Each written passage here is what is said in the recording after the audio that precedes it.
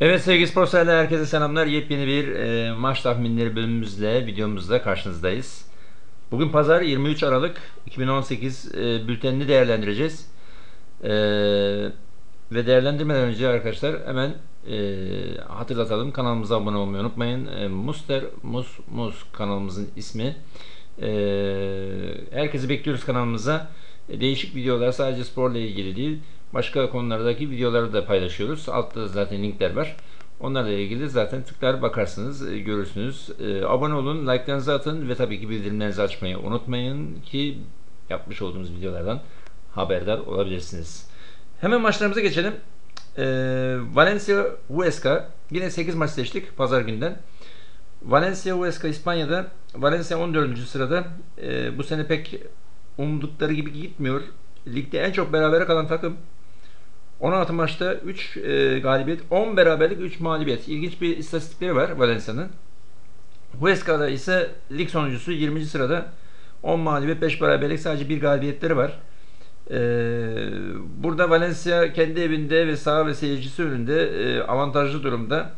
E, normal şartlarda almak zorunda olduğu bir karşılaşma. Biz Valencia'nın bu maç alacağını düşünüyoruz. E, direkt bir oynayabilirsiniz arkadaşlar.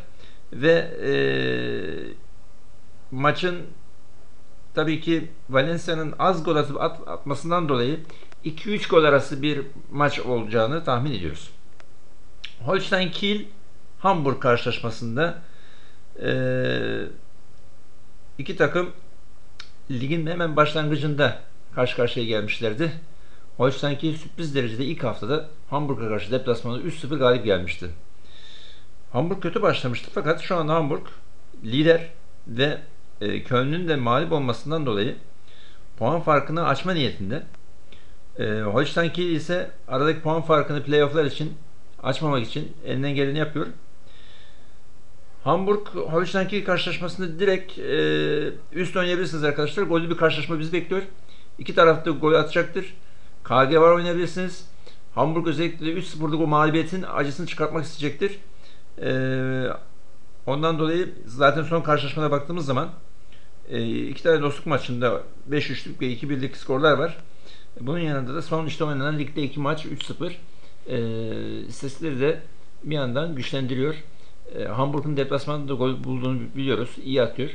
Ondan dolayı e, üst ve karşılıklı gollara yönelebilirsiniz. Trabzon-Rize karşılaşması ise Trabzonspor için çok önemli bir maç. Şampiyonluk iddiasını sürdürmek için özellikle e, Başakşehir'in puan kaybetmesi e, bir yandan da e, büyük ihtimal Beşiktaş'ın da puan kaybetmesi durumu var gibi. Tam belli değil. Daha maç bitmedi çünkü maçların e, ilk yarısı bitmiş durumda. İkinci yarısına bakacağız. E, bizim de tahminlerimize göre Kasımpaşa'nın burada bir gol atacağını ve Beşiktaş'ın da beraber en azından e, daha doğrusu iki tarafında gol atacağını düşüncesindeydik. O tarafa doğru gidiyor maç ama e, Trabzonspor'u konuşalım. Trabzonspor gerçekten bu sezon e, iyi işler başarıyor.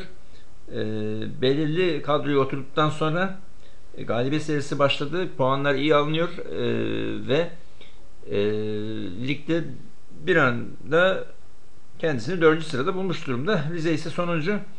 Karadeniz derbisi diyebiliriz. E, Karadeniz derbisinde veya karşılaşmasında biz öncelikle tabii ki Trabzon'un e, galip geleceğini düşünüyoruz. E, Rize'nin burada puan koparacağı gerçekten çok zor.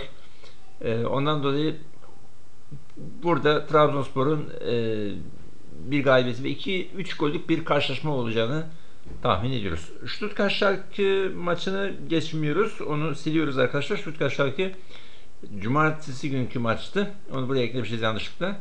Kusura bakmayın. Hemen Eskişehir Spor, Bolu Spor karşılaşmasına geçelim. Ee, Eskişehir Spor, Bolu Spor karşılaşmasında ise hemen oraya da bakalım bir.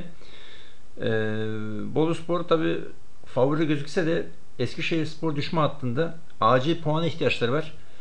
Ee, zor durumdalar. Ee, 4 galibiyet, 3 beraberlik, 9 mağlubiyet, 15 puanla Eskişehir Spor 17 sırada. Bolu Spor ise playofflarda.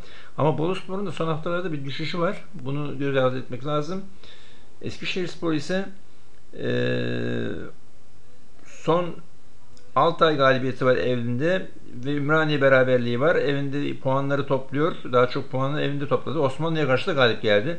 İstanbulspor'u da galip aldılar. Yani özellikle ev- evinde iyi oynuyor. Çünkü seyirci desteği gayet iyi. Biz Eskişehirspor'un buradan kaybetmeyeceğini düşünüyoruz. 1-0 çifte şans ve e, karşılıklı golleri açık bir maç bizi bekliyor arkadaşlar. Everton Tottenham karşılaşmasında ise bu da karşılıklı goller açık bir maç. Tottenham biraz daha favori gözüküyor. Kadrosal bakımından. Everton deplasmanı ama çok e, kolay bir deplasman değil. Dikkat etmek lazım Everton'a. E, buradan bir sürpriz çıkarabilir. Ondan dolayı ilk tercihimiz karşılıklı gol var. Ve sürprizler için Everton çifte şansı deneyebilirsiniz. Open Gang karşılaşmasında ise bol gol bekliyoruz. Bu gollü bir karşılaşma bizi bekliyor burada. Ee, burada hiç taraf bahsini geçmeden direkt 2.5 gol üstü oynayabilirsiniz arkadaşlar. Open Gang karşılaşmasında. Ve Galatasaray Sivasspor karşılaşması çok ee, ilginç bir karşılaşma olacak. Galatasaray kadrosal olarak e, sakatlıklardan dönen birçok oyuncu var. Tek bir e, Emre Akbaba şu anda sakat. Diğerleri hepsi oynayacak durumda. E, antrenör Fatih Terim tabii ki e, yine e,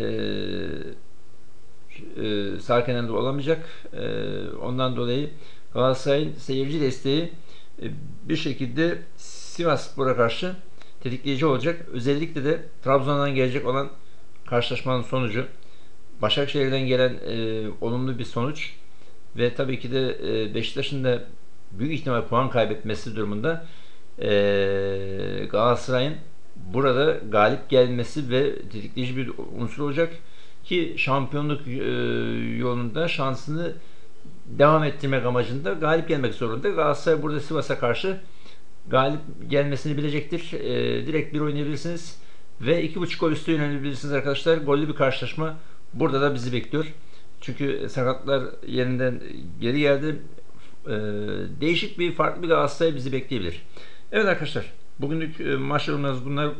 Tekrardan görüşmek üzere. Yeni bir videomuzda tekrar karşılaşma e, karşılaşma umuduyla diyelim ve ve unutmayalım ki kanalımıza abone olmayı unutmayın. Like'larınızı ve yorum ve görüşlerinizi bekliyoruz.